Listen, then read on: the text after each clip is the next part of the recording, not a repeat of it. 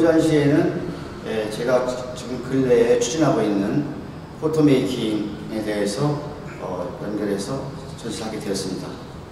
어, 3년째 이런 작품을 하고 있는데 에, 사진을 본 바탕으로 해서 유화로 만드는 작품입니다. 어, 사진과 회화의 만남에서부터 출발했습니다.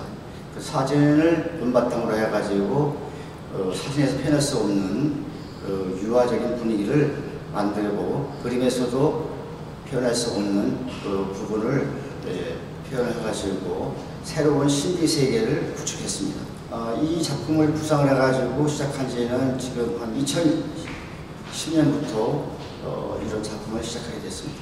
예, 사진을 저 수십 년 동안 하다 보니까 사진의 한계를 느끼고 해서 좀더 어, 보는 사람을 하여금 예, 좋은 그 느낌과 감상할 수 있는 우리 회화적인 분위기로 연출했습니다.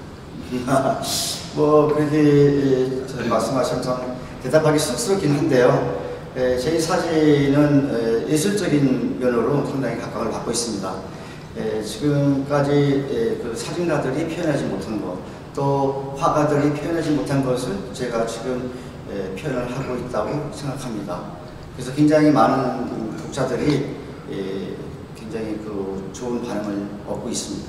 예, 저는 어, 교직 생활을 30년 동안 했습니다. 이번 학기를 계기로 저는 정년퇴직을 하게 됩니다. 근데 지금까지는 어, 사진과와 그 다음에 예술 계통에 있는 학생들을 에, 그 사진 디자인을 가르치고 하였습니다.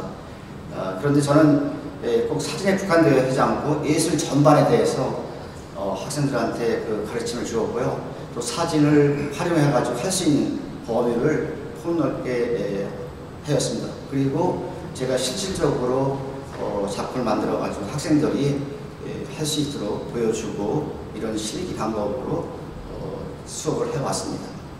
앞으로는 이 작품을 계속 예, 할 예정입니다. 그래가지고 어, 외국에 가서 뭐 중국이나 지금 유, 유럽에 가가지고 또는 어, 뉴욕에 가가지고 전시회를 할 예정입니다.